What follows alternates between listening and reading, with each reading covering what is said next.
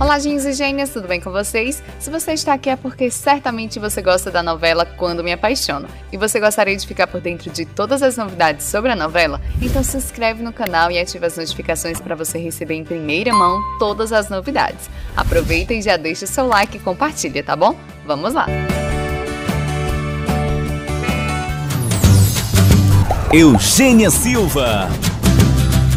No capítulo 86, segunda-feira, 16 de novembro. Constança tenta dizer a Honório que ele e Adriana precisam tomar cuidado com Josefina, mas não consegue. Renata continua pensando em Jerônimo, mas admite que sem a ajuda de Augusto não teria sido capaz de lidar com tudo o que aconteceu ao longo do tempo. Roberta se encontra com Augusto no quarto do hotel, onde ele está hospedado, e minutos depois eles fazem amor.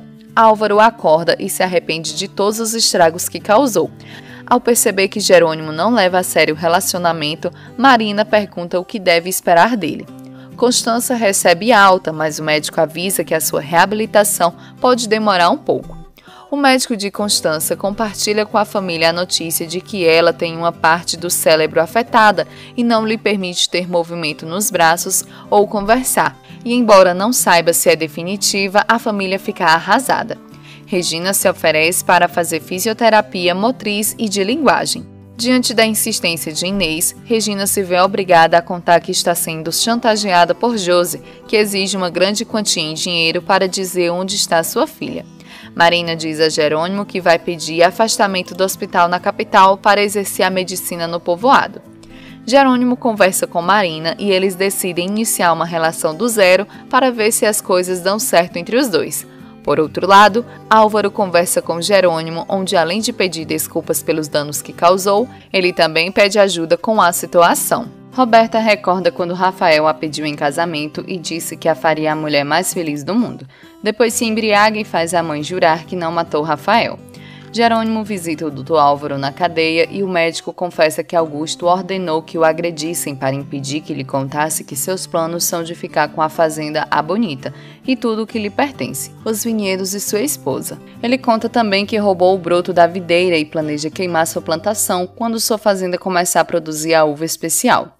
Alzira começa a sentir as contrações e é socorrida pelos trabalhadores da fazenda que a levam para o consultório da doutora Marina. Karina está muito emocionada porque agora sim vai se casar com um homem que ama. Jerônimo convida Marina para viver na fazenda, mas deixa claro que isso não significa que pretende se casar. Regina já tem o dinheiro para entregar a Josefina. Renata fica sabendo que não precisam pagar nem um centavo de juro pelo empréstimo que Jerônimo fez às empresas Monterrubio.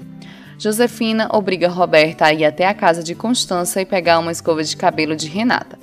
Sabendo que Álvaro está vivo, Padre Severino diz a Karina que é melhor que esperem um ano para se casar. Jerônimo diz a Lázaro que Karina não é viúva, pois Álvaro está vivo. Terminamos mais um vídeo. E você gostaria de ficar por dentro de todas as novidades sobre a novela? Então se inscreve no canal e ativa as notificações para você receber em primeira mão todas as notícias, tá certo? Aproveita, deixa o seu like e compartilha. Um super beijo e até o próximo vídeo.